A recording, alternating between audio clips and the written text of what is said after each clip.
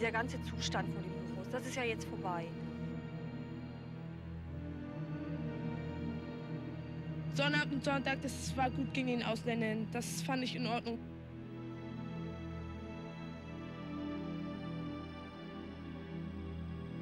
Anders kriegt man sie nicht raus.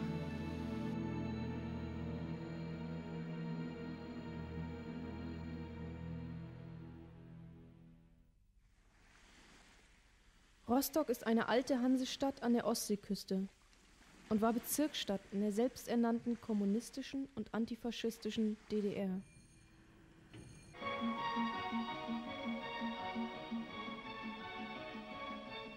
Our gate to the world.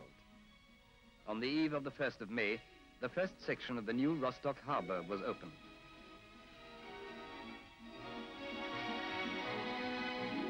In Ostdeutschlands Tor zur Welt waren 55.000 Menschen in Fischfang und der Schiffbauindustrie beschäftigt. They have, despite extremely difficult conditions, done an excellent job in record time.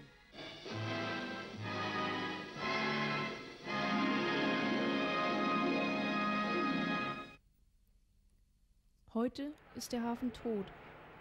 Gearbeitet wird nun in Hamburg.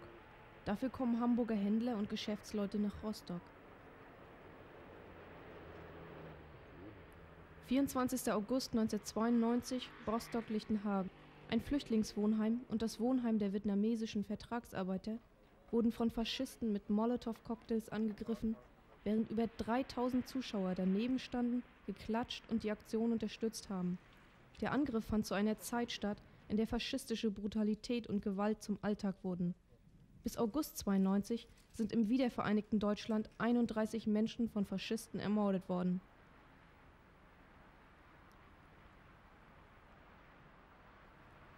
Lichtenhagen war eines der Neubauviertel, die um das Zentrum Rostocks gebaut wurden.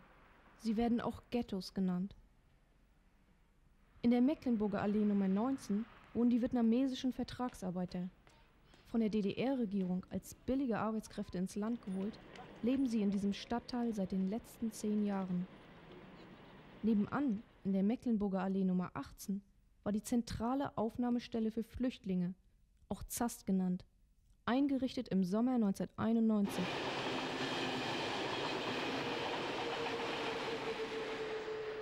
Niemand kann sagen, sie seien nicht gewarnt worden. So sind zum Beispiel seit April 1992 in Rostocker Stadtteilen Flugblätter von der Hamburger Liste Ausländerstopp verteilt worden, die mit der rechtsextremen NPD zusammenarbeiten.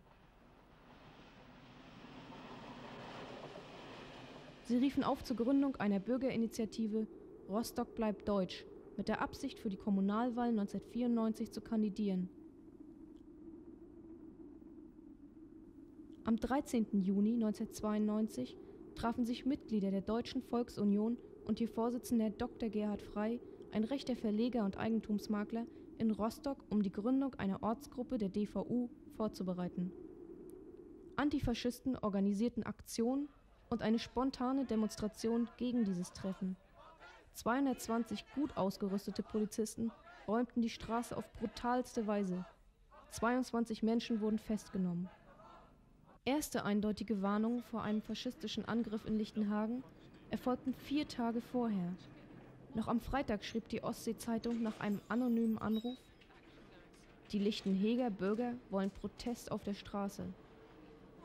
Der Artikel beinhaltete direkte und gewalttätige Drohungen am Abend werden wir alle auf die Straße gehen. Die Roma werden aufgeklatscht.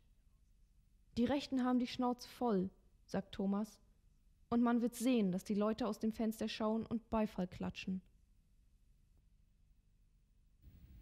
Äh, ich äh, habe natürlich in der Woche davor Kenntnis bekommen von diesem anonymen Anruf bei einer Zeitung, obwohl da nicht die Rede von war, äh, direkt einen Angriff zu machen. Das war also sehr verschwommen. Ja, was heißt Pläne? Äh, es gab einen Stand der Vorbereitung äh, aufgrund des anonymen Anrufs. Wie gesagt, im Detail, tut mir leid.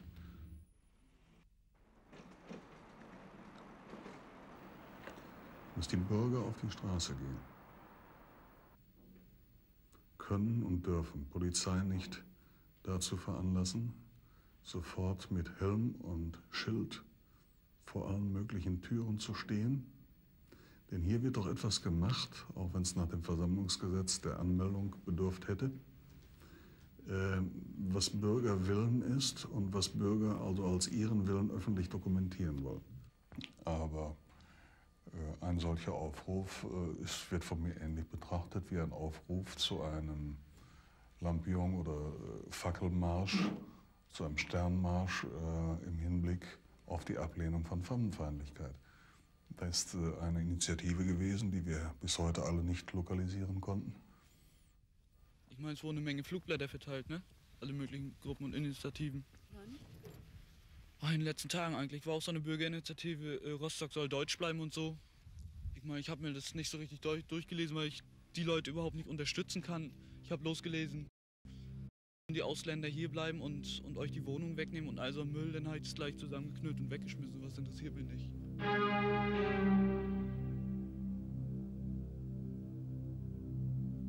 Es war ein Sonnabend im August wie jeder andere. Nur jeder wusste, es würde etwas passieren. Die Atmosphäre war gespannt. Die Zast sollte ohnehin kommende Woche verlagert werden.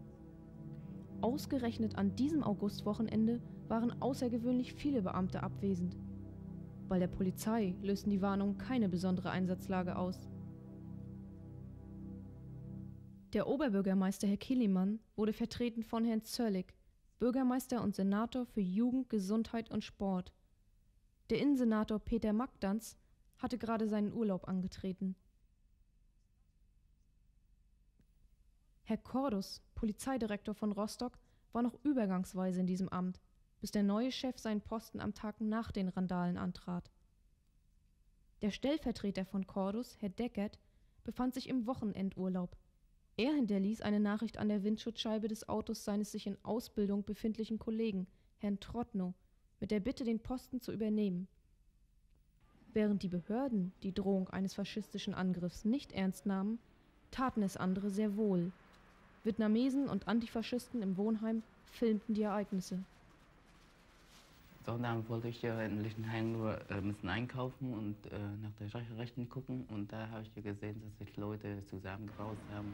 Meistens nur erstmal harmlos aussehende Jugendliche. Was haben uns dann zusammen mit dem Ausländerbeauftragten geeinigt, dass wir erstmal so mit in das Haus hineingehen, einfach um da Notfall irgendwie auch mithelfen zu können. Und ein anderer Gedanke war, irgendwie, dass wir die ganze Sachen, falls da wirklich was Ernsthaftes passieren sollte, und davon sind wir eigentlich erstmal ausgegangen, dass wir das auch irgendwie zu äh, versuchen wollten, das zu dokumentieren. So.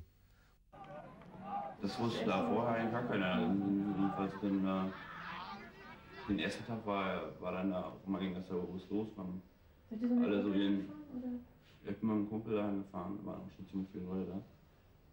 Und dann haben die da eben eine, zum Anfang, am ersten Tag da ein, zwei Leute ihre Aktion rausgelassen. Es wurden dann immer mehr, haben sich, alle wollten ja im Prinzip so war das ja alles in sich reingefressen, so die Zeit, nichts los und Scheiße.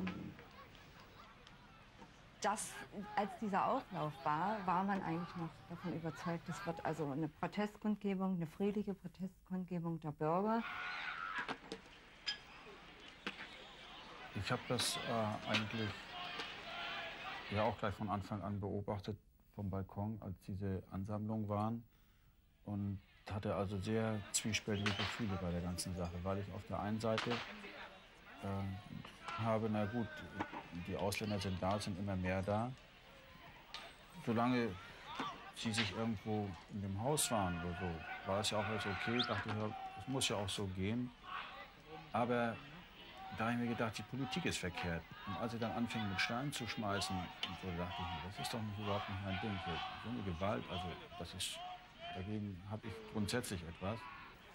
Da bin ich da auch zurückgezogen und dann nachher dann kam das ja auch, dass die Polizei dann ankam, die ja am ersten Tag, an dem Sonnabend, ja sehr, äh, sehr gering vertreten war.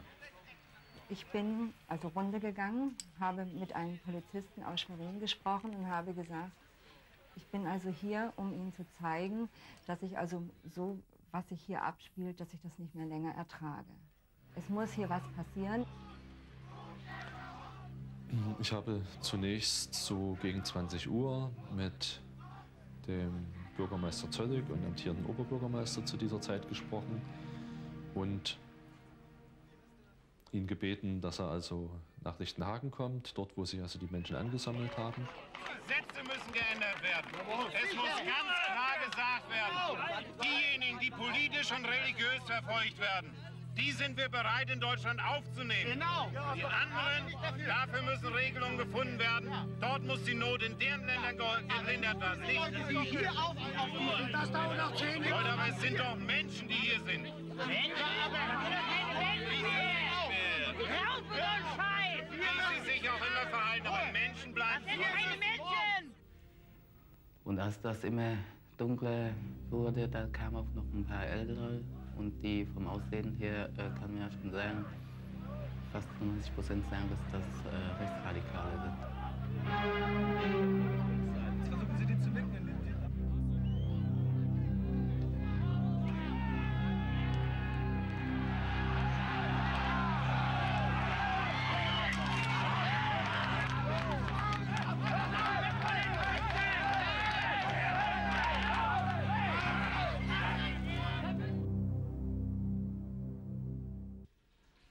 Laut Artikel 16 der bundesdeutschen Verfassung findet jeder politisch oder religiös Verfolgte Einlass in Deutschland. Das Recht auf politisches Asyl tritt nicht automatisch in Kraft. Flüchtlinge müssen einen Antrag stellen und eine langwierige bürokratische Prozedur durchstehen.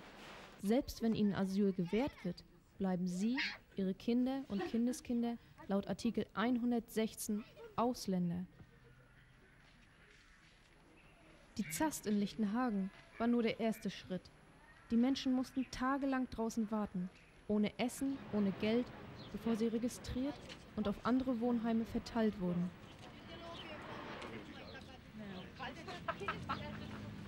Da das Asylantenheim in der 18, also die ZAST, bereits zu dem Zeitpunkt schon hoffnungslos überlastet war, mussten ja die Leute irgendwo bleiben.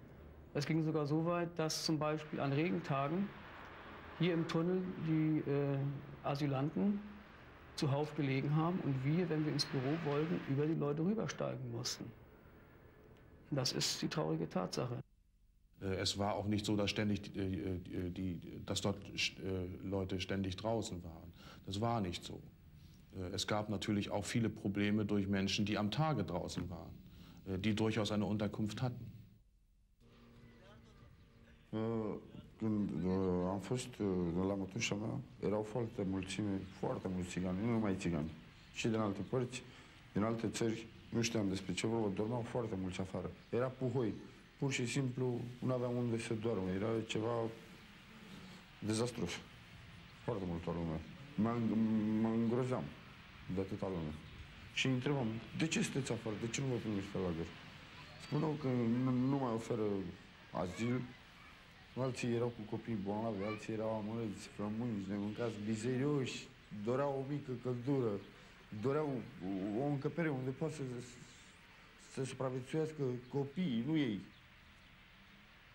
Și cei de la Lichtenhagen, deci când venea cineva și cerea azil, deci o familie sau o persoană singură spunea azil în Germania, nu se mai dă pentru români, dar asta nu știu de ce, și lăsa să doarmă afară câte două, trei zile, chiar o săptămână. La fel mi-ar fi făcut și mie, dar e, fetița mea avea mare temperatură și a trebuit întâi să merg la doctor. De la doctor a fost nevoit să mă bage înăuntru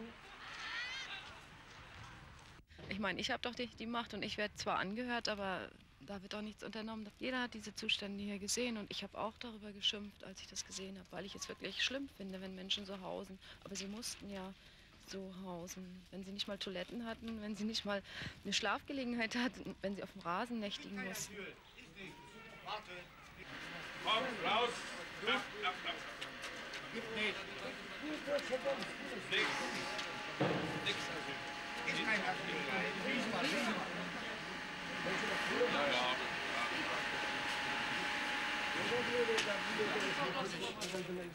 Ich bin als Achtjähriger als Flüchtling hier angekommen und ich bin entsprechend empfangen worden. Das heißt, es hat, man hat sich um uns gekümmert, auch wenn Krieg war. Ich hatte zumindest das Notwendigste hier geboten bekommen. Aber was sich hier abgespielt hat, ich fahre hier jeden Tag vorbei zur Arbeit, dass hier Flüchtlinge nachts ankommen, auf dem Rasen kampieren müssen, weil die Türen zu sind. oder das Gleiche. Und äh, es ist nicht mal Einrichtung da, wo Leute ihre Notdurft. Wissen Sie, das haben wir nicht mal nach so vielen Jahren Krieg 1945 hier gehabt. So, und wer dafür verantwortlich ist, das kann sich ja jeder an fünf Finger abzählen. Weil in Rostock die Zast war, brauchte Rostock nur die Hälfte einer festgelegten Flüchtlingsquote aufzunehmen. Für die Unterbringung der Asylbegehrenden ist das Land Mecklenburg-Vorpommern zuständig. Damit hat die Stadt überhaupt nichts Nein. zu tun. die ZAST betreffend. Ähm, die zentrale Aufnahmestelle ist eine Einrichtung, die in einer Landesverordnung rechtlich geregelt ist. Äh, nach, dem jetzt geltenden, nach der jetzt geltenden äh, Verordnung ist der Oberbürgermeister der Hansestadt Rostock ähm, oberste Ausländerbehörde. Äh, Die ZAST ist eine Einrichtung des Landes Mecklenburg-Vorpommern. Insofern in der Verantwortung der Landesregierung. Denke ich, der Innenminister ist äh, oberster Dienstvorgesetzter. Ja, dazu kann ich nur sagen, dass das Schreiben vom Innenminister, das wir an ihn gerichtet haben, beantwortet wurde. Dass er uns mitteilte, dass sich zum 31.08. diesen Jahres was verändern wird. Und äh, er hat Wort gehalten. Es hat sich ja was verändert. Allerdings bereits vor dem 31. An dem besagten Wochenende, wo dann die rechtsradikale Szene hier versucht hat, durch, mit ihren Mitteln auf das Problem aufmerksam zu machen. Mecklenburg-Vorpommern ist kein ausländerfeindliches Land. Sie können an die Universitäten gehen in Rostock oder in Greifswald, auch wenn es dort äh, handgreifliche Auseinandersetzungen in Greifswald gegeben hat. Aber meine Tochter studiert selbst in Rostock mit ausländischen Bürgern aus dem Iran, aus Israel, gemeinsam in, einer, in einem Studiengang äh, Medizin und äh, im, im Wohnheim wohnen auch äh, Studenten aus Zentralafrika und dort gibt es keine Konfliktsituation zwischen äh, den Deutschen und den Ausländern und anderen, die dort sich aufhalten. Die Ausländer sich alle ordentlich und anständig hier in unserem Land benehmen und sich bewegen und auch soziale Abgaben machen, äh, habe ich gegen da nichts zu halten. Bloß wenn man so sieht, wie was wir die Lichtenhagen sich genommen haben, halt, äh, kann ich das akzeptieren, was da passiert ist. Ich meine, die Leute jetzt in Lichtenhagen noch standen, also die älteren Leute, die Beifall geklatscht haben, denen ging es nur darum, dass wir ein sauberes Lichtenhagen haben. Aber ich kämpfe dafür, dass wir ein sauberes Deutschland haben. Ich habe nichts, ich meine, die Türken, die Älteren, die jetzt seit 20, 30 Jahren leben, die kriegen wir nicht raus, das ist normal. Die müssen im Prinzip auch hier sein, weil die haben sich jetzt alles aufgebaut in ihren Pizzerias und ihre Familien hier. Aber Leute, die jetzt hier reinkommen, nur um ein besseres Leben haben zu wollen, einfach so, das ist nicht die Lösung. Wenn ich diese Leute sehe, die hier mit Mercedes vorfahren, die können Sie sofort nach Hause schicken. Das sind für mich keine Asylanten. Und gehen Sie hin, die fahren hier alle Audi, so Autos. Sehen Sie hier diese ganzen Vietnamesen und was weiß ich, die fahren hier mit Audis und so. Das sind für mich keine Asylanten. Willst du etwas sagen, dass Rumänen sind, sind Rumänen politisch Verfolgte? Und die Zigeuner, und, also sind die und Roma sind politisch Verfolgte? Da kann ich nur lachen, das sind absolute Wirtschaftsflüchtlinge. Die haben unseren Wohlstand, die haben unseren... Stopp mal. wenn du nicht so essen machst, Nee, ja, dann müssen Sie, müssen Sie jedenfalls sich was aufbauen. Das, kann doch nicht- ja, das stimmt auch. Deutschland hat 80 Millionen Einwohner. Wir können, nicht, wir können nicht die ganze Welt hier verpflegen. Das muss man mal so ganz klar Warum habt ihr euch in der DDR hier nichts eigenes aufgebaut? So ist ja auch, können wir genauso sagen. Was ist, was ist?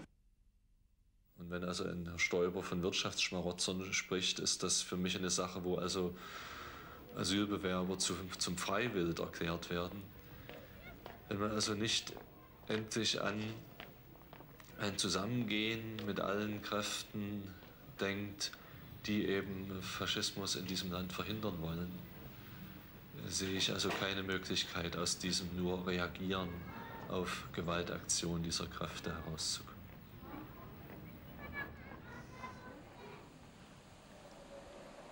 Gelben Sande, ein Flüchtlingswohnheim bei Rostock. Wie viele dieser Heime ist es isoliert? Es ist eines der Lager in Mecklenburg-Vorpommern, in das die in Lichtenhagen registrierten Menschen geschickt wurden.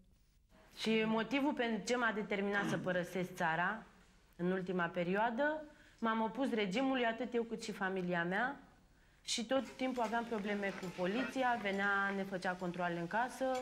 În ultima perioadă, deci eu munceam în acea perioadă. Am venit în Germania ca azilant și am cerut azil politic și vreau să mi se ofere azil politic. Încă de când știu eu, țiganii noștri erau încă umiliți și amănunți. Nu puteam să trăim pentru că nu aveam unde să trăim. Nu aveam căși. Uh, Și datorită faptului că nu aveam un loc unde putem să ne construim o casă, ca să putem să muncim să, și nu aveam dreptul la niciun fel de muncă, nu puteam să trăim într-un fel pentru că obligat trebuia să fim plimbăreți. Ne obliga legea din acel timp. De la viitor aș vrea o, o liniște și înțelegere sufletească de la tot, tot ce mă înconjoară în jurul meu și nici eu să nu deranjez pe nimeni, să pot să trăiesc ca orice om care are dreptul la libertate. Deși mi-am dorit asta din România.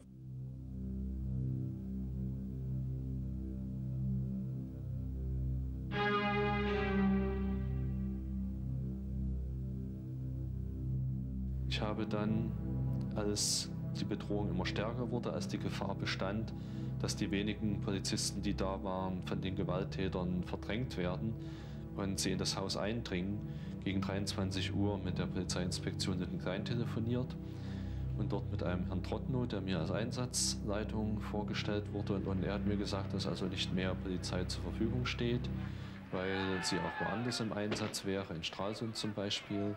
Aber dass zwei Wasserwerfer unterwegs sind und die in ungefähr einer halben Stunde da sein werden. Und mit den Wasserwerfern wird die Polizei dann die Situation in den Griff bekommen. Das war kein, ke- keine Anzeige, der, dass, dass wir irgendwie geschützt äh, fühlen können, sondern alleine äh, gelassen da mit dem ganzen Randal. Das, was sollen wir dagegen tun? Ein paar meiner Landsleute sind auch schon auf die Idee gekommen und haben gesagt, ja, was sie machen, können wir auch. Und wollen sich dann mit Stöck und sowas bewaffnen und an der Tür da äh, stehen bleiben und wach halten, wenn's- wenn es sein sollte. Aber da habe ich zu ihnen da alle gesagt, das hat ja überhaupt keinen Zweck, denn äh, erst recht werden wir die dann provozieren und, und, und damit dann können wir auch gleich gehen. Als dann nach einer Dreiviertelstunde von den Wasserwerfern immer noch nichts zu sehen war, bin ich zum Einsatzleiter dort vor Ort gegangen, nach draußen, und habe ihm das gesagt, dass diese Wasserwerfer von Trotno angekündigt wurden.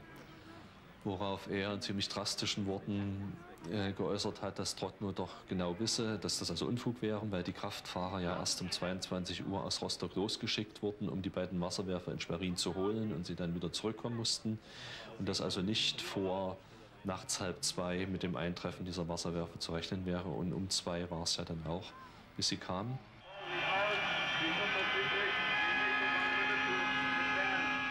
Normalerweise waren die Wasserwerfer in Rostock stationiert. Jedoch sind sie ausgerechnet einige Tage vor den Krawallen auf Veranlassung des Innenministeriums nach Schwerin verlegt worden. Über zwei Fahrtstunden entfernt. Nachdem hm, diese Wasserwerfer äh, ziemlich schnell ihr Wasser versprüht hatten, ohne Wirkung zu erzielen, zurückgezogen werden mussten, habe ich also nochmal mit Trotno telefoniert und ihm gesagt, dass die Gewalttäter nun mit doppelter Wucht gegen das Haus anrennen, weil sie ja nun den Erfolg hatten, die Wasserwerfer zurückgeschlagen zu haben. Worauf er mir sagte, fast wörtlich, Sie wissen ja, Herr Richter, am Sonnabendabend erreiche ich im Schweriner Innenministerium sowieso niemanden. Na, also ich habe noch nie einen Bullen aufs Maul gehauen eigentlich so. Und das war eigentlich nur der Tag so. Und da bin ich ja, ich hab's immer gefreut, war ein Siegesgefühl. Also. Ja, war schon. Also da- war er auf der Brücke da. Da war die Brücke, wo wir die verteilt haben gegen die Uhr, die konnten dann absolut nichts machen. Da. Mehr Polizei von Anfang an, hatte ich vorhin erklärt, äh, entsprach überhaupt nicht der Lagebeurteilung. Und ähm, geschlossene Einheiten am Wochenende sind schwierig zu bekommen. Bis 3 Uhr morgens bestand für die Rostocker Polizei keine erhöhte Alarmbereitschaft. Man hat die ganze Zeit auch schon am Sonnabend gemerkt, irgendwie, dass die Polizei anscheinend nicht das richtige Interesse oder das Konzept hat, irgendwie ernsthaft was gegen die Ausschreitung zu tun. Sodass eigentlich schon klar war am Sonnabend, dass es irgendwie weitergehen wird, dass es aufhören wird. So, ne? Dass eigentlich unsere einzige Hoffnung darin besteht, dass wir uns einen Kopf machen müssen, so wie wir uns selbst verteidigen. So, ne?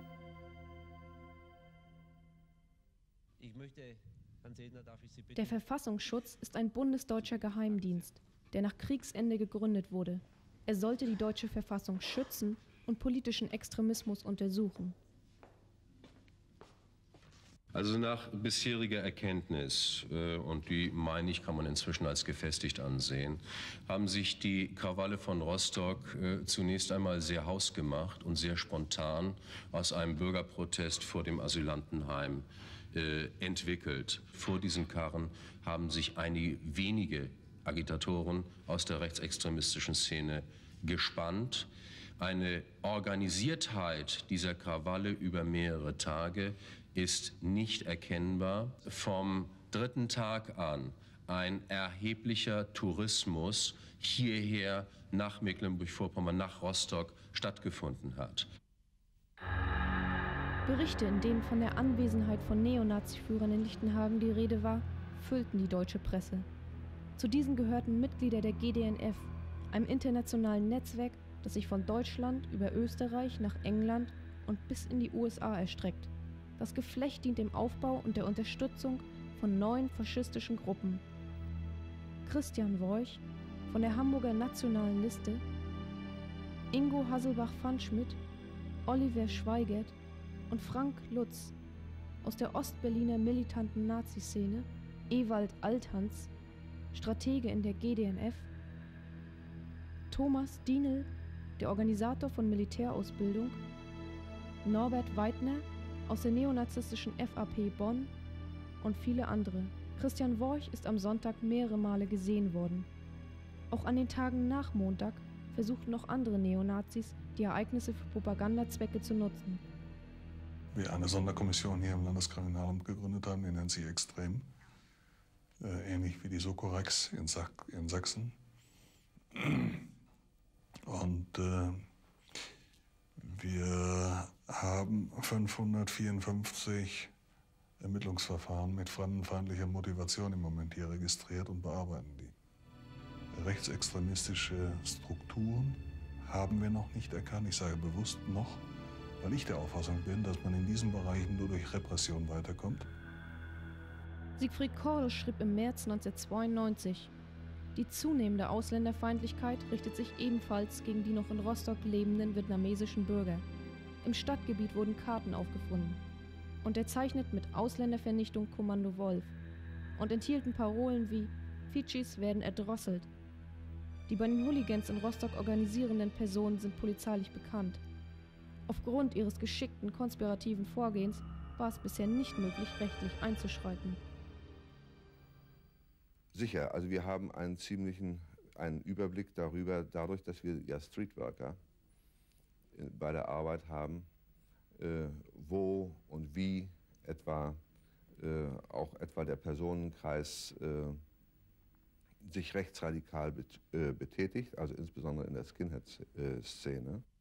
Es darf nicht sein, das ist eine sehr ernsthafte Warnung, meine ich, dass Skinheads oder sonstige militante Neonazis von der Bevölkerung als eine Art Ordnungsfaktor angesehen werden.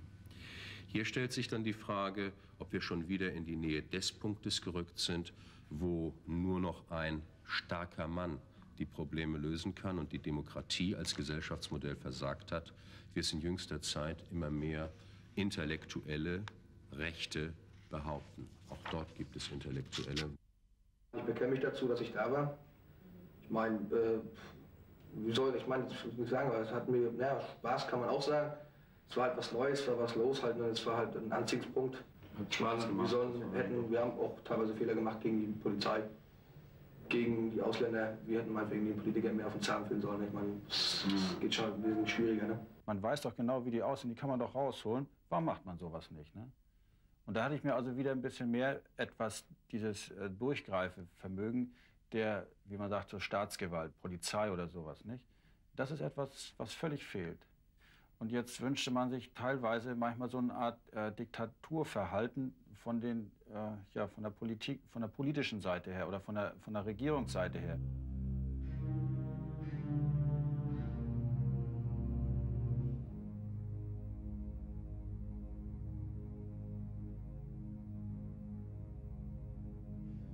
Die Gerechtigkeit, haben aber einen Rechtsstaat bekommen. Und das trifft in jedem Punkt. Sehr viele, die 89 den Aufbruch mit initiiert und getragen haben, wollten eigentlich gar nicht so schnell in ein einheitliches Deutschland, sondern hatten äh, vielmehr vor, äh, hier dieses Land, das damals DDR hieß, äh, zu demokratisieren und äh, hier wirklich nach Alternativen äh, zum real existierenden Sozialismus einerseits, der sich in seiner ganzen Pervertiertheit, ja, Pervertiertheit erwies, und aber auch zu den westlichen Mustern andererseits äh, zu suchen. In 1990, lots of people thought they would always be employed. We knew that it wouldn't be the case, but we didn't, we didn't know either at that time that it would come so drastically. So if you see the provisions banks have to make today, the write-off they have already today to make today within two years, come definitely from that time where both sides didn't really know what's going on. Of course, bankers are normally prudent when they lend money. And um, lots of colleagues, and including myself, thought that the consumer business will pick up and there should be money to buy cars. And we have seen that here, that buy, cars were bought like, like, like hell. It was a big business for everyone. And uh, lots of people thought that the car is also certain security, which after all it wasn't. Ja, ich bin seit 82 hier äh, aufgrund des Regierungsabkommens zwischen der ehemaligen DDR und Vietnam, so Vertragsarbeitnehmer. Nach fünf Jahren äh, hätte ich normalerweise schon nach Hause gehen müssen, aber dadurch meine deutsche Kenntnisse äh, war das möglich für mich noch eine Verlängerung äh, zu, zu beantragen und dieses wurde auch genehmigt. Danach haben sie mich nach Stender geschickt als Dolmetscher für so eine Gruppe in Stender, die im Kernkraftwerk arbeitet. Und da kam die Wende 89. Ich hatte eine Arbeit gehabt, es war vieles sicherer gewesen. Es war zwar nicht das so gut, äh, es war nicht das Beste gewesen, aber es war irgendwo was Sicheres. Nicht? Und das ist das, was vielen fehlt. Äh, immer wieder von westlicher Seite den Leuten im Osten gesagt wird, also ihr müsst jetzt erstmal richtig arbeiten lernen und Ärmel aufkrempeln. So. Hm, das ist das eine. Äh, andererseits wird äh, vielen von uns geraten, wir sollten doch einfach diese Jahrzehnte in der verkorksten DDR, diese Jahrzehnte unserer Biografie vergessen. Ich arbeite jetzt auch in Hamburg. Ich weiß, wie die einen da behandeln. Ja. Wie? Zum Teil mieser als Asylanten. Genau, so ich das auch. So sieht das aus. Hm. Meinen Sie, Sie sind praktisch ostdeutsche Asylanten in Westdeutschland? Ja, so, so ungefähr, so ist das. Hm. Und so wird es auch die nächste Zeit noch bleiben. Wir können nicht einfach sagen, so, ihr habt jetzt euch alle zu vertragen. Das geht nicht. Wir, haben, wir sind anders aufgewachsen, wir haben andere Probleme als die Westdeutschen und wir müssen irgendwie zueinander finden, aber wir finden nur zueinander, wenn wir uns das auch offen sagen, wenn wir das also sagen dürfen. Das darf aber nicht sein. At the beginning it was much easier, you know, there was a spirit of pioneer. Um, but the last 12 months were very difficult for all of us. We have taken over lots of people in, in 90 and 91, and those who cannot be adjusted and educated professionally, you know, we have to, to separate and we have to look for alternatives by good social welfare, welfare plans and uh, everywhere in the new states. It will take quite some time to really come to an integration. Wenn ich die Politik mir ansehe, dann wird doch vieles nur entschieden aus finanziellen Machtgründen. Oder wir sind ja nicht vereinigt, wir sind ja vereinnahmt worden, so sehe ich das, dass wir diese Sachen mit übernehmen müssen. Es geht ums Geld.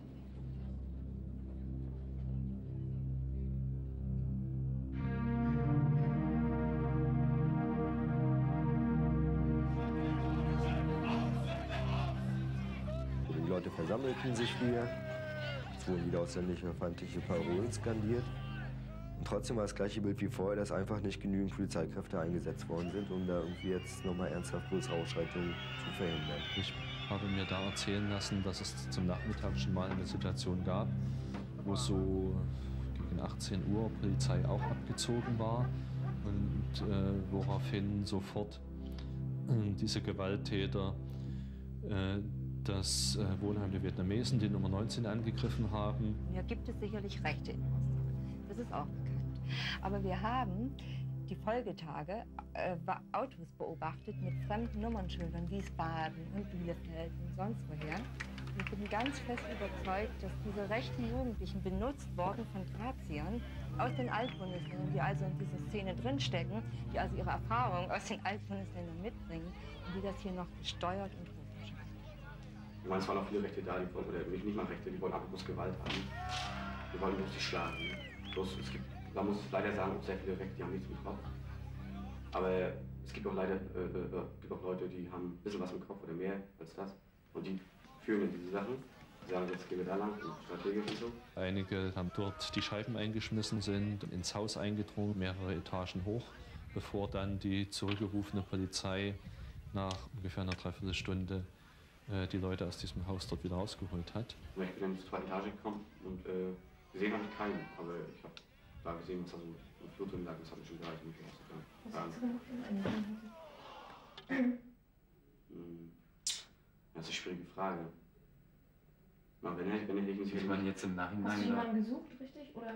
Ja, sicherlich. Man hat das Ziel schriftlich auf, auf, auf losgegangen. Ne? Aber wenn du so willst, ich meine, Alleine wäre ich da bestimmt nicht drauf losgegangen. Mir ist zum Beispiel bekannt, dass am Sonntag, da waren dann die Nazis bereits schon das erste Mal gegen drei Viertel sieben in das Wiener Mesenwohnhaus eingedrungen, sind bis zur zweiten Etage vorgedrungen. Dass die Polizei dann halt irgendwie ausgestiegen ist, die Leute rausgetrieben hat, aber zu dem Zeitpunkt irgendwie keine Verhaftung gegeben hat. Ein Mann mit einem grünen Hemd am Fenster stand und irgendwie einen Gegenstand äh, runtergeschmissen hat haben sollte. Und dann haben sie gesagt, dort in der Wohnung, jetzt müssen wir hochgehen und den Vietnamesen rausholen und ihn in den Knast reinstecken. Gleichzeitig haben sie einen Rechtsradikale oder einen Randalierer auch festgenommen. Ihn haben sie am Herr und der Hand nach hinten so gezogen, sodass er immer nach oben gucken muss, damit alle so schön sehen kann, wie ein vietnamesischer Verbrecher aussehen soll. Und der deutsche Jugendliche, der Randaliere, lässt er daneben so frei stehen. Und hinterher haben sie festgestellt, dass er gar nicht äh, derjenige, derjenige war, der äh, irgendwie einen Gegenstand runtergeschmissen hat. Ich habe so an, an, Sendungen gedacht, die ich früher so im Fernsehen gesehen habe, mal wenn das so in, in alten Bundesländern mal so war. Nicht? Da dachte ich, Mensch, jetzt hast du das direkt hier vorm Haus. Als ich dann im Haus war, hm, eskalierte das Ganze also auf der Wiese wieder, ähnlich wie am Sonnabendabend. Steinwürfe, Brandflaschen. Nur, dass diesmal also wesentlich mehr Polizei da war, dass hm, die Aufgänge 1819, also Zast und Wohnheim der Vietnamesen, abgeschirmt war.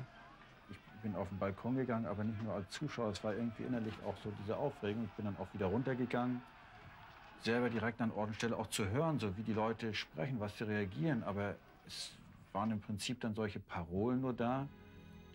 Und da merke ich immer, wie die Masse, was das irgendwie für so eine, äh, für so eine Macht ist. Erinnerte ich mich dann auch so an diese Montagsdemonstration. Da war ja auch im Prinzip waren das Sprechchöre und das war eine unheimliche Macht, eine Kraft. Ne? Das hier war es wieder ganz anders eingesetzt, aber es hat viele Leute mitgerissen. Nicht? Ich sehe hier gefühlt die ersten drei Tage, weil was von sozusagen Kameraden umgeben. Tausend von Leuten. Ja, also bloß, ich, fand, ich fand die Schaulustigen fand ich voll daneben, weil ich finde, wenn die irgendwas sehen wollen, dann sollen die, was weiß ich, nach Jugoslawien sich da den Krieg anschauen, dann sollen sie dabei klatschen. Aber was sagen, das war voll, weil die haben die, die, haben die Sachen nicht begriffen. Wäre man dann erwischt geworden oder so, äh, äh, wird man dann im Bau sitzen hier im Knast oder so, dann wird man das schon neu zeigen halt, ne? Ich in dem Moment war es mir auch egal, wo ich da eingeworfen habe wusste natürlich ganz genau, dass ich eventuell welche verletzen konnte. Das hat bei mir jetzt in der Situation keine Rolle gespielt und bin froh, dass sie mich nicht am Arsch gekriegt haben, man ist das Kapitel eigentlich so gut schon vergessen. Ich meine, das war ja nicht nur sondern auch bei wir, und mal in oder so. Ne?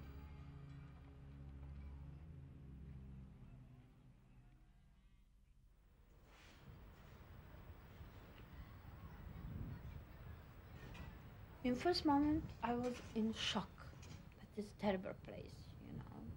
It is a soldier house. Especially in this in this barrack, they live poor life. Poor, I mean, and in they they don't have anything. No, no new papers, no books, uh, no chance to learn um, uh, to learn language. Only sleep and eat, like animal animals. Do you know how I feel?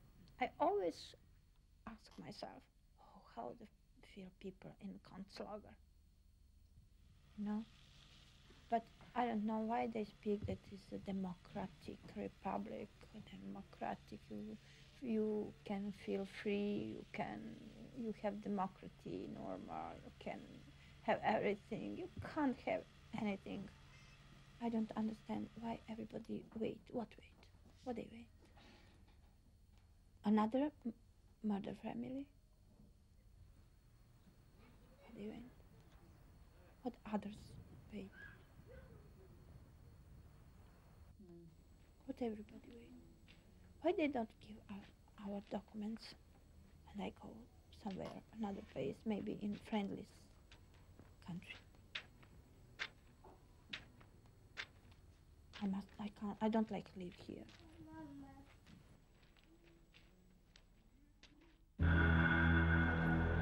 Sonnabend, 29. August. Am Wochenende nach den Übergriffen kamen 20.000 Menschen aus ganz Deutschland und dem Ausland nach Lichtenhagen, um ein politisches Zeichen gegen Rassismus und Faschismus zu setzen. Demonstrantenkonvois sind mehr als vier Stunden festgehalten worden. Die Polizei führte massive Fahrzeugdurchsuchungen und Passkontrollen durch. Über 3000 Polizeikräfte waren im Einsatz. Entgegen vorherigen Absprachen blockierten sie Parkplätze, nahmen Demonstranten ins Spalier und setzten Hubschrauber über dem Demonstrationszug ein.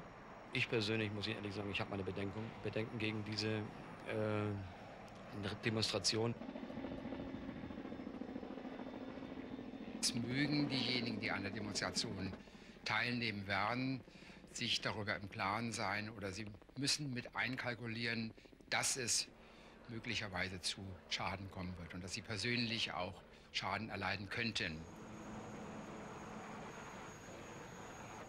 Dass dort Gewalt äh, zwischen Linksradikalen und Rechtsradikalen ausgelebt wird und äh, möglicherweise, dass diese Radikalen sich zusammentun und dann gemeinsam gegen die Polizei vorgehen werden. Wir werden auch, also wir haben die Mitglieder in der Stadt aufgerufen, daran teilzunehmen. Natürlich auch mit den Hinweisen, es gibt natürlich auch Mitglieder der Partei, die Angst haben, was auch verständlich ist und was man denen in dem Sinne auch nicht äh, ausreden kann.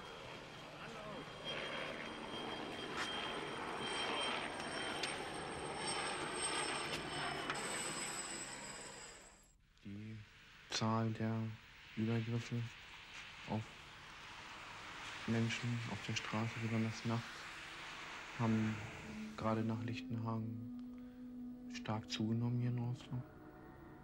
Besonders, also das sind so Überfälle auf anders aussehende. Es gab irgendwie Angriffe an, auf Behinderte, auf Ausländer, so und so. Ja, also ich will mein Gesicht nicht zeigen, äh, weil ich darauf habe, irgendwie zusammengeschlagen zu werden von irgendwelchen Leuten. Aufgrund meiner Einstellung oder meiner Äußerung oder so. We are afraid to go out too much. Of course, they kill people outside. You know, the Nazis is all everywhere. I'm afraid in, in train, when my, my son speak too loud, I, I, I must tell him, shh, shh, don't speak loud. Why they must see that you are a stranger here. Deci, de când am venit în Germania, am trăit în permanență cu teama asta de a nu fi omorâtă. Atât eu cât și, cât și fetița. Atât noi cât și copiii. Acum o săptămână am văzut, am văzut eu când doi băieți au vrut să arunce o femeie din tren. Deci o femeie care locuiește aici cu noi. Acum ea nu este aici. Deci au vrut să o arunce din tren. I-au aruncat, i-au aruncat cumpărăturile și a vrut și pe ea să o arunce din tren. Dacă nu era controloarea, o aruncau din tren. Man kann es sehr, sehr schnell sagen, ja, also okay, da würde ich ja auf jeden Fall mit dabei sein. und den hier wegzerren und so. Aber ich glaube, so eine, eine Situation, wenn man die tatsächlich dann vor sich hat, das ist sehr schwer dann, nicht? Ich glaube, das hat auch nichts mit Gleichgültigkeit zu tun, wenn man jetzt immer wieder liest, die Leute werden gleichgültig. Sicherlich. Aber man kann das auch immer wieder nicht alles in einen Topf schmeißen. Ich glaube, die Angst ist ein ganz großer Faktor, der eine Rolle spielt.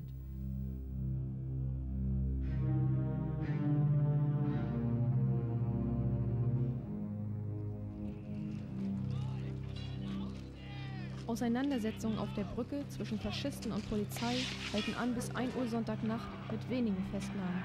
Der Kampf wurde unterbrochen, als 200 Leute in Lichtenhagen eintrafen, um ihren Protest gegen faschistische und rassistische Aktionen zu demonstrieren. Man hat sich gegenseitig irgendwie die Angst genommen, man war, war mehr lustig und so. War das schon ein ganz komisches Gefühl.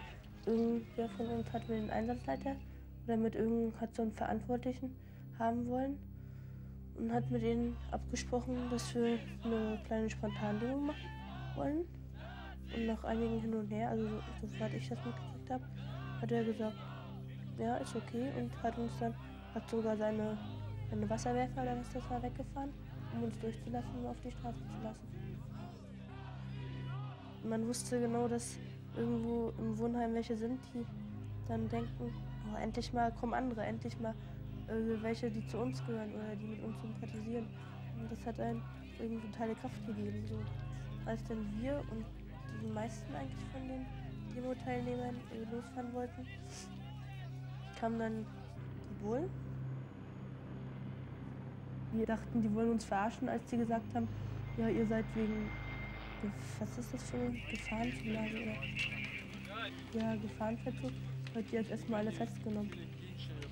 Ich bin der Auffassung, dass äh, man das verhindern musste und dass die Rechtsgrundlagen aufgrund der möglichen Militanz mitgeführte Gegenstände gegeben waren. Jetzt kann man natürlich sagen, das hat jeder anständige Autofahrer in seinem Kofferraum, ich nicht. Und äh, nicht, wenn sich gerade da 60 so geschlossen in Marsch setzen, dann vermute ich aufgrund über 33-jähriger Berufserfahrung vielleicht etwas mehr dahinter. Wenn Sie jetzt aber sagen, dass in Lichtenhagen, das muss ich kurz noch mal darstellen, dass wir also dort mehr, sag ich jetzt mal, antirassistische Gruppen äh, festgenommen haben oder, sag ich mal, aus der nicht rechtsradikalen Szene mehr festgenommen haben als aus der rechtsradikalen Szene, dann ist das falsch. Ähm, wir haben in Lichtenhagen eigentlich überhaupt keinen festgenommen, der, äh, sag ich mal, der autonomen Szene. Also wir haben alle, also ich auf jeden Fall, also ich sag jetzt mal alle, haben eine Anzeige wegen groben Landesfriedensbruch bekommen.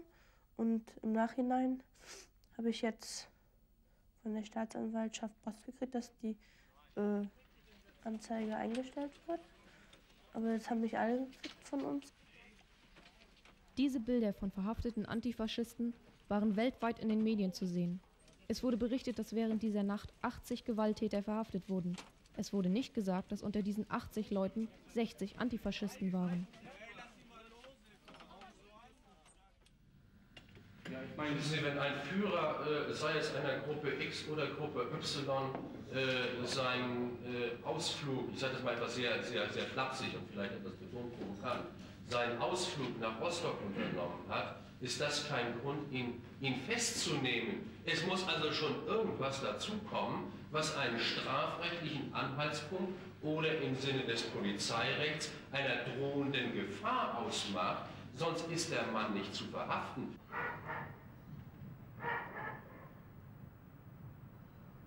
Seit Kriegsende hat die Bundesregierung erhebliche verfassungsrechtliche Mittel im Kampf gegen Faschismus. Artikel 86 des Strafgesetzbuches verfolgt die Herstellung, Verbreitung und Sammlung faschistischer Propaganda. Laut bundesdeutschem Gesetz ist die Ausführung des Hitlergrußes rechtswidrig.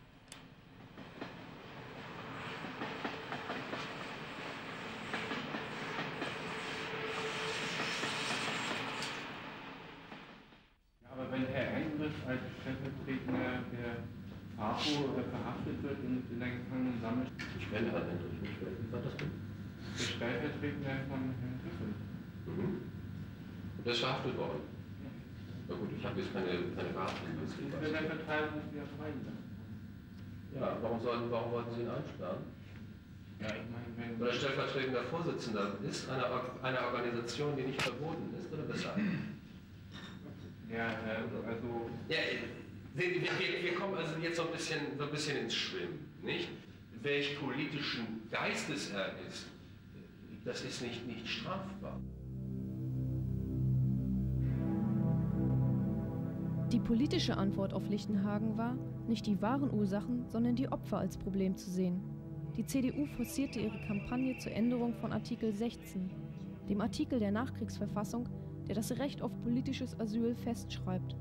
Genau am Wochenende von Lichtenhagen kapitulierten die Sozialdemokraten, die bis dato traditionell jeglicher Änderung des Artikels 16 entgegenstanden.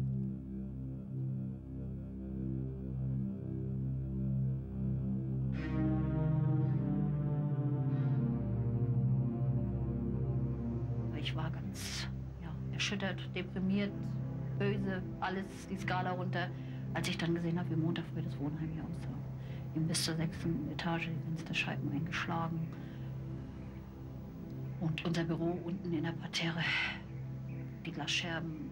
Dass da noch eine Steigerung möglich war, war für mich eigentlich unvorstellbar, zumal ich eigentlich sehr stark auf die Polizeikräfte vertraut habe. Denn am Tag äh, war erstmal äh, haben die Kinder da am Nachmittag frei gehabt, so dass sie ab 11 Uhr schon die Jugendlichen schon rum im Haus herumgingen und sich das anguckt, was sie am Vortag da so schön angerichtet haben. Und die haben sich immer mehr und mehr gesammelt, bis so zum, zum 15 Uhr, als die äh, Asylbewerber Bewerber weggebracht wurden. Nach einer Entscheidung der amtierenden Zastleiterin wurde am Montagnachmittag mit der Evakuierung der Zast begonnen. Offizielle Stellen waren angeblich nicht informiert. Zivilpolizei und Bürgerschaftler stellten unterdessen eine erneute Angriffsbereitschaft fest. Also hier ist ein Herr Statzkowski zu uns ins Büro gekommen und hat sich als äh, der Fraktion SPD der Bürgerschaft vorgestellt und hat also uns gebeten, er kommt im Namen, spricht im Namen der Bürgerschaft und hätte das mit den Sicherheitskräften. Er hat nicht das Wort Polizei gesagt. Ich würde sagen, heute hat Sicherheitskräfte gesagt, abgesprochen, das Haus den Anschein zu erwecken, unbewohnt zu erscheinen, also dunkel, Fenster geschlossen. Man merkt uns so zu verhalten, äh, dass wenn man draußen stehen und so ein Haus reinguckt, äh, als wäre kein Mensch mehr da drin sind, mit der Begründung, äh, es könnte sein, dass die Polizei diese Häuser nicht mehr schützen. Und äh, so ist das nicht schlecht, wenn wir uns so verhalten, dass sie die Randaliere auf uns selbst irgendwie auflösen. Ich war persönlich auch bei den Vietnamesen drin. Ich habe sie darauf aufmerksam gemacht, äh, dass es äh, heute äh, aufgrund von Aussagen, die wir dort aus den einigen jugendlichen Gruppen rausgehört haben, mit verschärften Angriffen zu rechnen war. Und ich habe auch dort dem Ting Bescheid gesagt, dem, dem ist wohl der Sprecher der Vietnamesen, dass er äh, seine Leute von den Fenstern wegzieht, dass er sie sich in den, in den äh, Wohnungen aufhalten sollten, um nicht eventuell durch, durch diese Anwesenheit äh, zu provozieren. Zumal er äh, aufgetreten ist im Namen der Bürgerschaft, habe ich das für bare Münze genommen, dass das wirklich abgesprochen ist. Und dass das nachher nicht im Endeffekt sich zur Mause falle. Die sich alleingelassen fühlende Hamburger Polizei bat um 4 Uhr nachmittags dringend um Verstärkung. Etwa zur gleichen Zeit besprachen Bundesinnenminister Seiters, BGS-Leiter Fritsch, Cordus und Kupfer in der Polizeidirektion den weiteren Verlauf. Verstärkung wurde nicht herangeholt. Warum nicht, bleibt unklar. Dann habe ich versucht, äh, zunächst in der Polizeidirektion an Deckert als Einsatzleiter heranzukommen. Deckert war also zu diesem Zeitpunkt nicht im Präsidium. Ich habe den Leuten, mit denen ich dort gesprochen habe, gesagt, dass die Vietnamesen im Haus sind, dass ja die Angriffe vorher gegen die Vietnamesen gingen, dass also Polizei bleiben muss. Das war eine ganz bedrückende Stimmung hier im Hause. Erstmal schon das Sitzen nachher im Dunkeln und, und, und dann die Erwartung, ja, und das doch gucken, heimlich durch den Vorhang, durch die Gardine gucken, was da draußen los ist. Und dann wurden das immer mehr Menschen. Und das war doch eine sehr beängstigende Stimmung, muss ich wirklich sagen. Es war einfach Angst da, weil die Menschenmassen, die dann sich so langsam gesammelt haben, das hat doch die Leute sehr erdrückt, würde ich sagen. An mich selber auch. Gegen 19 Uhr ging das schon los. Sobald es anfing äh, äh, dunkel zu werden, ging das los. Wenn ich mal runtergucke, dann sind nur noch Feuer zu sehen. Also Molotows-Cocktail und dann haben die Rakete abgeschossen.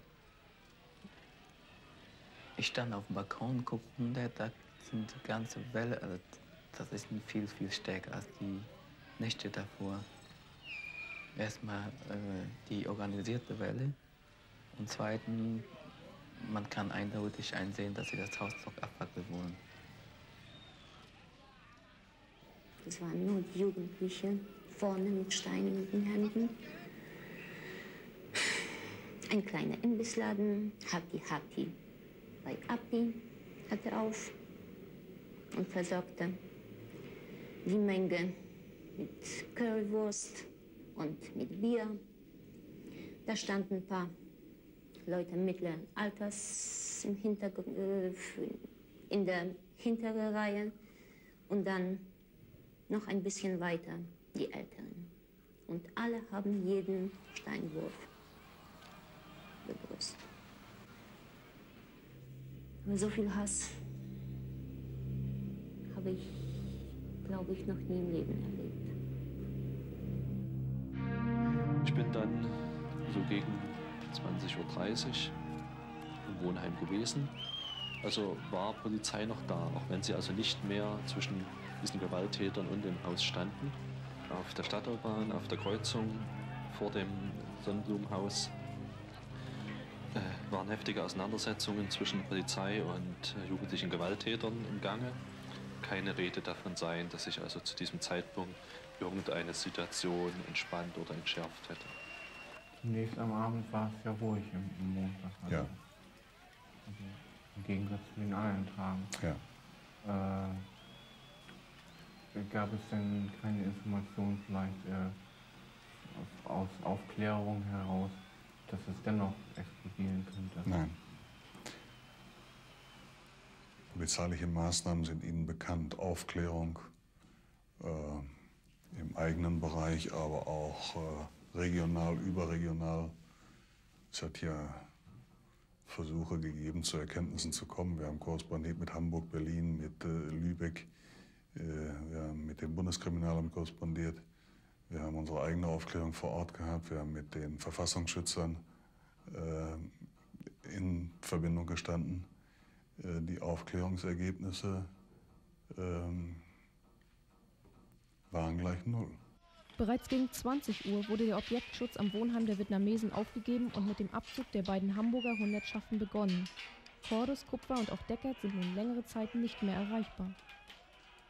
Nochmal, es gab einen, einen Vorwurf, dass, äh, dass Sie den, den Ort äh, verlassen haben, um Ihr Hemd zu wechseln. Das ist also kolportiert worden. Es ist nur im sprichwörtlichen Sinne so zu verstehen. Ich war an diesem Montagabend, das sage ich gerne dazu, dass dabei überhaupt nichts zu verbergen ist in dieser Frage, bis etwa nach äh, 20 Uhr, also im Rostock selbst äh, anwesend, noch beim, in einem Fernsehstudio bis nach 20 Uhr und dort in einer Zeit der relativen Beruhigung äh, nach der aktuellen Lagesituation bin ich in meinen Wohnort gefahren, wenn Sie wissen, das ist eine halbe Autostunde von Rostock entfernt, also viel näher an Rostock als Schwerin an Rostock liegt, weil ich dort in der Nähe auch von Rostock äh, in einer Kleingemeinde wohne, äh, war aber äh, lückenlos in meinem Dienstfahrzeug über Funk und über Funktelefon und auch zu Hause erreichbar, habe auch eine Vielzahl von Telefonaten geführt und als die Eskalation der Ereignisse etwa gegen äh, 21.40 Uhr, 21.45 Uhr mir bekannt wurden, habe ich dann selbstverständlich also sofort wieder die, die Fahrt in Richtung Rostock angetreten und war dort noch vor Mitternacht sofort wieder in der Direktion äh, vor Ort. Ein Steinwurf vertrieb den letzten Zug der Hamburger Polizei. Die Mecklenburger Polizei, die seit 20 Uhr unterstützend eingriff, erhielt kurz nach 21 Uhr den Befehl zum Rückzug. Von dort aus habe ich dann gemerkt, dass, aus, dass ähm, diese gewaltbereiten Jugendlichen, die dort auf der Wiese standen, von den Sprechrufen zu Steinwürfen übergegangen waren und dazu übergegangen waren, dieses Haus nun anzugreifen, wo ringsherum nun keine Polizei mehr war. Daraufhin bin ich von der neunten Etage runter zum vierten ans Telefon, habe so kurz nach 21 Uhr nochmal mit der Polizeiinspektion mit dem Kleinen telefoniert. Ich fand das, ich fand das ganz. Die Leute da unten schreien hören, Deutschland den Deutschen und.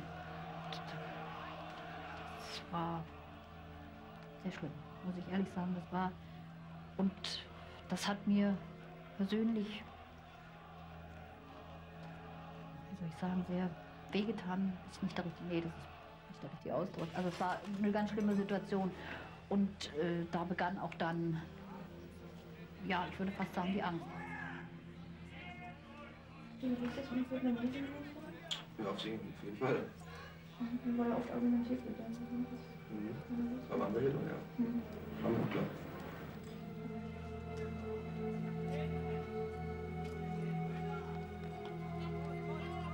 Zu diesem Zeitpunkt äh, wurde von den Gewalttätern bereits die Glasscheiben in der Eingangstür eingeschmissen.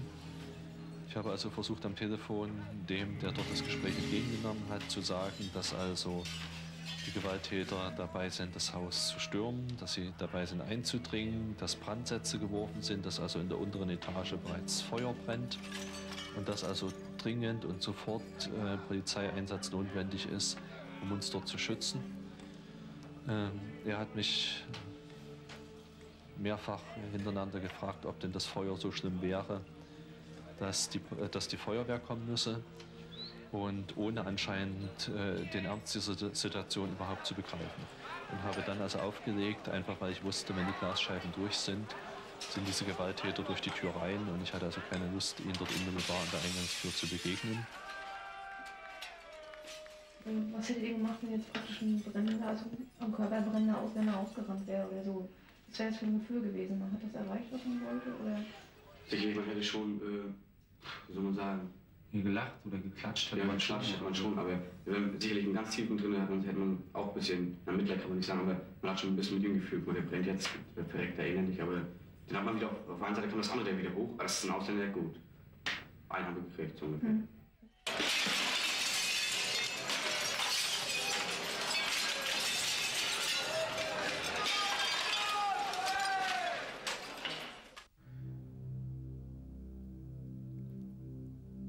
Kranke, diensthabender Polizeifunker vor Ort, notierte fünf Forderungen der Gewalttäter. Die Polizei ist abzuziehen, Bereitstellung eines Lautsprecherwagens, um zu der Masse sprechen zu können, Besichtigung des Flüchtlingwohnheimes, freies Geleit, Treffen mit Hundertschaftsführern an einem unbeleuchteten Zeitungskiosk. Es gibt keinen Hinweis darauf, dass die Polizei auf diese Forderungen eingegangen ist. Sie hatten sich jedoch schon zurückgezogen. Und damit haben sie die erste Forderung erfüllt. In der Presse wurde behauptet, dass die uneffektive Polizeitaktik auf inkompetente Ostdeutsche zurückzuführen war. Die Westdeutschen sehen sich im Osten oft als Vorreiter, die die westlichen Werte und Kompetenz in die neuen Länder bringen. Viele der nicht gewählten Mitarbeiter im Innenministerium in Schwerin hatten ähnliche Posten und Ämter im Westen.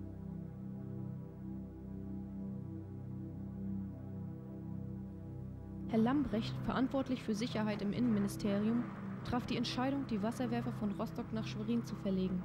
Ebenso hat er die Vergabe von zusätzlichen Polizeifunkfrequenzen behindert und Ausrüstung im Wert von 3 Millionen Mark bis Dienstag, nachdem die Wohnheime gebrannt hatten, zurückgehalten. Der amtierende Polizeichef von Rostock, ein Mann aus dem Westen, kann nicht als inkompetent bezeichnet werden. Seine Erfahrungen liegen im Bereich der politisch motivierten Verbrechen. Er war an den Untersuchungen zur Bader-Meinhof-Gruppe beteiligt und hielt Vorlesungen über Rechtsextremismus an der Polizeiakademie. In der ausländischen Presse wurde gesagt, er sei entlassen. In Wirklichkeit wurde er Chef des Landeskriminalamtes.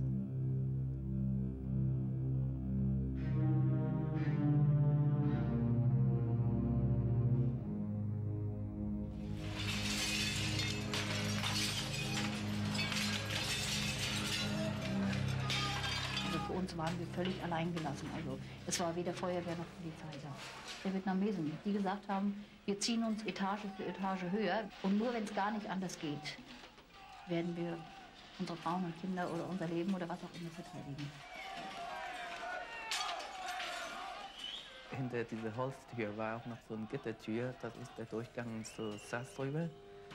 Das ist auch noch mal abgeschlossen. Müssen wir auch mit Brechstangen arbeiten und so. Ich habe vor der Tür gestanden und habe gedacht, wo ist das Ende?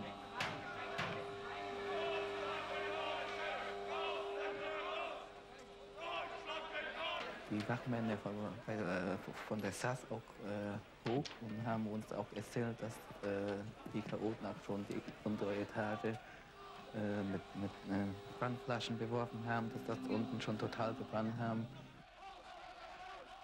Ja, nur zwei Aufgänge und von dort aus, können wir am besten verteidigen sowie äh, postieren. Es sah halt so aus, dass wir uns immer aufgeteilt haben, so dass sicher war, dass die Nazis nicht irgendwie mit dem Fahrstuhl hochkommen. Wir haben halt den Fahrstuhl blockiert, so dass der erstmal so Betrieb war. Wir haben halt die Treppenaufgänge besetzt und die Durchgänge, sodass irgendwie gewährleistet war, dass nicht auf einmal irgendwie hinter uns irgendwelche Nazis auftauchten. Als sie merkten so, dass die Nazis und die Brände auch immer höher kamen, so, haben wir uns halt immer weiter zurückgezogen.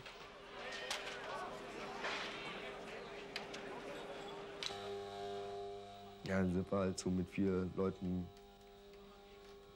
halt hoch zum Dach so haben gemerkt, so, dass da sämtliche Türen auf dem Dachboden verschlossen sind. So, so vielleicht so ziemlich lange, also wir kamen ziemlich lange vor, es waren vielleicht auch so 10, 15 Minuten und wir haben ja gebraucht, um erstmal die Tür von der Nummer 19, also von dem Mesenwohnhaus, dort zum Dach aufzubrechen. Als wir dann die Tür zur Nummer 18 auch aufgebrochen hatten, dann, also die Dachluke, so dann sah man eigentlich schon den Lichtschein dort im Fahrschlussschacht. So.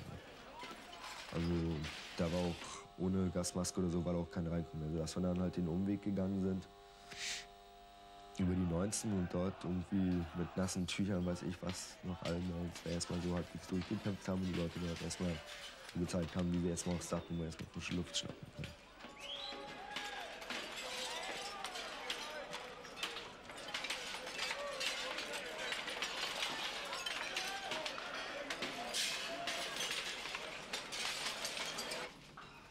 Das war ja dunkel, kein Licht mehr da.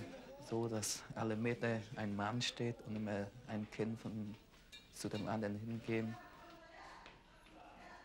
Und da war dann doch schon die Angst ganz, ganz toll, wenn die jetzt kommen. Die schmeißen uns einfach vom Dach runter. Dann haben wir halt so das ganze Dach abgeklappert, haben die Dachluken überprüft, so weil sie jetzt so am losesten zu anderen Aufgängen und wenigstens so einen Fluchtweg offen zu haben und nicht irgendwie auf dem Dach jetzt, jetzt einen Kampfflucht liefern zu müssen. Da fehlt aber immer noch welche. Da bin ich noch mal runtergelaufen. Aber diesmal konnte ich nur bis 10. Etage äh, runtergehen. Mehr war nicht möglich. Ich krieg ja kaum mehr Luft. Na, danach sind wir dann halt wieder rein in die Nummer 19 und haben die anderen Leute noch besucht. Also, wir waren da, also ich war da vielleicht 10 Minuten drin. So. Aber es war total beschissen. Wir haben die echt nicht gefunden. So. Die hat dann erst die Feuerwehr rausgeholt. Hat. Zusammen auch mit dem behinderten Waschschutzmann, der dort auch noch an einem Raum war. Und den hatten wir eigentlich schon irgendwie abgeschrieben. Wir wussten zwar, in welchem Zimmer er sich befand, bloß da kam er überhaupt nicht mehr ran, weil er vorher schon alles Flammen war. Bis als wir dann alle auf dem Dach waren, so, ja, da standen wir halt erstmal da, so, legte sich flach auf den Boden, weil wir gemerkt haben, so, dass wir auch von anderen Häuserdächern so beobachtet werden. Und da sahen wir halt irgendwie so unter sich so 3.000, 4.000 Leute, die ständig so jubelten und klatschten und Ausländer ausriefen. Und du stehst da oben, da ist eigentlich kaum noch ein Mittel irgendwie so jetzt so, was du machen kannst. Ne? Irgendwie bei dem Zeitpunkt, weiß nicht, war es eigentlich auch ziemlich egal, so ob man, glaube fast, ob man jetzt vom Dach runterspringt oder ob man nun oben bleibt. Als das Wohnheim brannte, waren 450 Polizisten in Lichtenhagen im Einsatz. Die eingeschlossenen Menschen im vietnamesischen Heim waren nicht in der Lage, diese Polizeikräfte zu erreichen. Sie konnten über eine aufgebrochene Dachluke in einen benachbarten Aufgang des Wohnhauses flüchten. Ja, und nach und nach kriechen wir das übers Dach und gingen dann runter. Äh, ich habe ja auch versucht, ein paar Familie so anzusprechen. Erstmal da die Einwohner in der Aufgang 3 sind, ein paar haben so mitleidig uns angeguckt. Ich habe an jeder Wohnung geklingelt, überall vor den Türen gesagt wer ich bin und weswegen ich vor der Tür stand. Erst in der sechsten Etage hat dann mein Ehepaar die Tür aufgemacht und hat die Frauen mit den Säuglingen in die Wohnung gelassen. Dann habe ich hier ein paar Wohnungen angeklopft und darum gebeten. Ein paar Wohnungen haben gar nicht erst aufgemacht. Ein paar haben ja aufgemacht, aber nicht reingelassen. Und fragen mir, was wollt ihr denn hier? Dann sagten wir, ja, wir sind hier rüber geflüchtet. Aber dann, dann haben sie gesagt, nee, die Wohnung ist zu klein. Ganz schlimm war das und auch irgendwo Verzweiflung. Denn was sich da abgespielt hat, das war ja zu sehen und schlafen konnte keiner. Und irgendwo war die Gleichgültigkeit, die dann bei den Wohnungen war, sehr schlimm. Ich meine, nachher, als einer endlich den Mut gefasst hatte, oder zwei, die in der elften Etage, sind dann mehrere gekommen.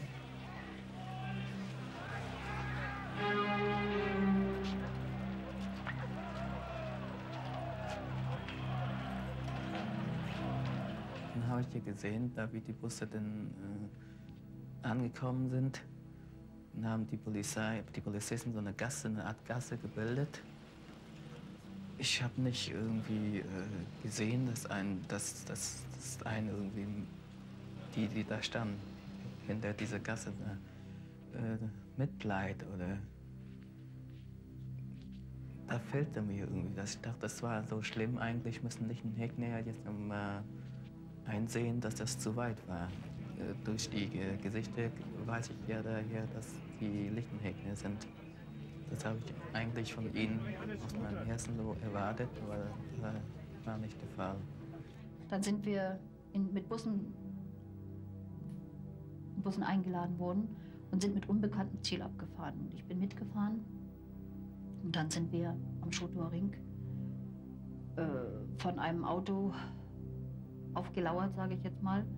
Ob nun bewusst oder unbewusst das Licht, aber im Nachhinein fuhr, der Bus, fuhr sie dann neben dem Bus und treten die Scheibe runter und äh, dann fielen Worte, Jugendliche wie ihr Schweine, wir kriegen euch. Dann haben die Vietnamesen sich auf die, auf die Erde gesetzt. Die hochschwangeren Frauen, die kleinen Kinder, alles mit, mit auf die Erde setzen müssen, damit die Busse leer aussahen.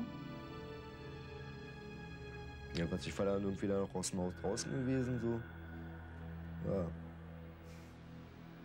Und bin erstmal durch Lichtenhagen gelaufen. Weil ich überhaupt nicht mehr wusste, so, es war irgendwie zu viel so. Ich war jetzt draußen so, das war jetzt mal vorbei aus dem Haus, war mal raus so und dann war nichts so. Es war irgendwie kein Gedanke mehr. Und war auch so, es ging auch noch Tage danach und auch während der Zeit, als ich dort im Haus war, irgendwie war das so, wenn man irgendwie versucht hat zu schlafen, so. Weil dass man irgendwie ständig auch die ganzen Bilder und das ganze Geschrei vor sich gehört hat. Das ging auch noch Tage später so. Also es war irgendwie so eine Art Psychoterror eigentlich innerlich gewesen. Durch die Erinnerung so. Glauben Sie, war es nur Glück, dass die Vietnamesen flüchten konnten und keiner umgekommen ist? Natürlich war, war eine potenzielle Gefährdung der vietnamesischen Bürger dadurch gegeben, dass die untere Etage in der Mecklenburger Allee 19 in Brand geraten war durch, durch diese Molotow-Cocktails. Insofern ist es schon... eingetreten? Ist Die Gefährdung der vietnamesischen Bürger? meines Erachtens, was das äh, Verbrennen oder diese, diesen Brandschaden betrifft, äh, insofern nicht gegeben, dass also wir bei der bereitgestellten ärztlichen Hilfeleistung nach oder während der Evakuierung beispielsweise also keinerlei Hilfe in Anspruch genommen worden ist. Also es ist also keine Verletzung äh, vorgekommen. Insofern konnte aber sicherlich auch nicht eingeschätzt werden aus dem sechsten Stock heraus, wie groß der Brandschaden ist, der jetzt in Parterre gelegt worden ist. Ich will das nochmal deutlich sagen. Aber äh, vom faktischen her gesehen muss man jetzt sagen, war eine akute Gefährdung äh, nicht gegeben und es hat auch keinerlei Verletzung gegeben oder, oder Rauchgasvergiftung oder ähnliche Dinge. Ich kann nicht einen Mitarbeiter mit Videokamera in die Menge stellen und filmen lassen. Der kommt mir aus der Menge nie wieder raus. Erste Feststellung, die ich mache, es ist uns leider nicht möglich gewesen, die Drahtzieher und diejenigen Leute zu finden, die die Molotow-Cocktails in die Häuser geworfen haben, in denen sich die Vietnamesen befanden. Es gibt keine Videobilder, die beweiskräftig genug sind, um diese Täter zu überführen. Das ist das ganz große Manko dieser gesamten Ermittlungen gewesen. Die Polizei ist überfordert gewesen Jetzt auch noch in diesen Fällen Beweise zu sichern, wir haben sie nicht.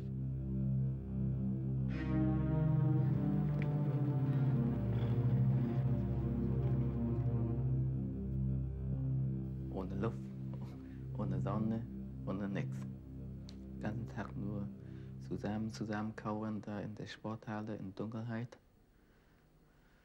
Und nichts machen, was wir, was wir unternehmen können. Das, ist, das war furchtbar. Wir haben uns bemüht, die entsprechende Versorgung in dieses Objekt äh, sicherzustellen. Dann kam Herr Zellig, der Bürgermeister von Rostock. Dann bekam sie die Antwort von ihm, äh, wieso Versorgung, wo sollen wir das Geld hernehmen? Wir halten euch die Türen und Toren offen, ihr könnt jetzt sofort zurückziehen in diesem Haus, in diesem Zustand. Und an Versorgung hat die Stadt kein Geld. Wir wissen, dass es sehr schwer ist für viele von Ihnen. Aber ich muss auch ganz deutlich sagen, dass wir im Moment keine andere Möglichkeit haben, dass wir Sie bitten, weiter so beschlossen zusammenzuhalten. Denn das ist die einzige Möglichkeit, Sie wirklich alle auch wirksam zu schützen. War mir ganz klar, dass wir jetzt auf uns allein gestellt sind. Ich denke nur erstmal, äh, wir müssen eine sichere Ort finden. Dass wir müssen alles abwarten, äh, was von der staatlichen Seite passiert. Denn wenn wir jetzt auf eigene Fuß irgendwie was unternehmen und das läuft schief, dann sind das ja wieder unsere Schuld und nicht von, von der Stadt. Ich wollte Ihnen nur sagen, wir stehen zu Ihnen, der Senat und viele, viele Bürger in Rostock. Wir alle hoffen, dass die Zustände, die wir jetzt haben, bald vorbei sind. Und ich bitte Sie noch einmal, die Dinge, die hier doch eine gewisse Einschränkung bedeuten, im Interesse der Sicherheit in Kauf zu. Ich darf mich dann verabschieden. Ich hoffe, wir bleiben hier und es ist bald vorbei.